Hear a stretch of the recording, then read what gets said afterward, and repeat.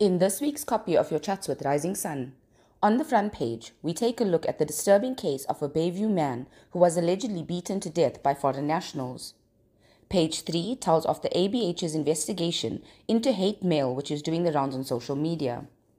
The story of how a woman's children saved her life in Silver Glen in an attempted murder is on page 5. And on the back page, we take a look at Bayview United's under 15 squad who is taking the footballing world by storm. Join our Telegram and YouTube channel at Rising Sun Newspapers to follow our daily news broadcasts shared across all our social networks covering a wide variety of news. These videos provide a convenient platform for residents to keep up to date with what's making headlines in the community.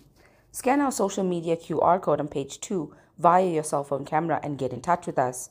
Together, the Rising Sun Community Newspaper Group has created a platform to share news, knowledge, print media, online media, and ideas.